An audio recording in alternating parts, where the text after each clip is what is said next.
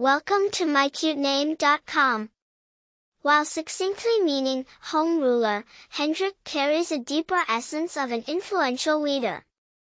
It represents someone who leads with power and discretion, not merely limited to a homestead, but a ruler who possessed the qualities needed for powerful leadership.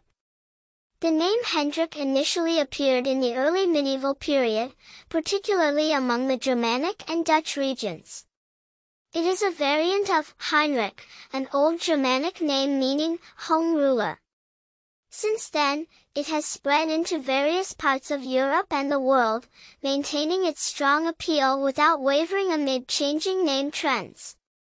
Today, Hendrik has variations in many languages, displaying its global acceptance.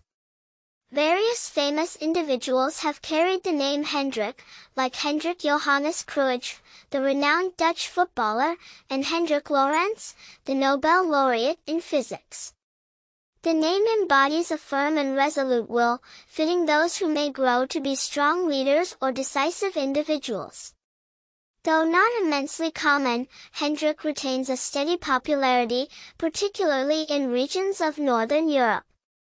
Balancing its historical depth with an everlasting charm, it offers a fascinating choice for those wanting a name that blends tradition with a touch of worldly elegance.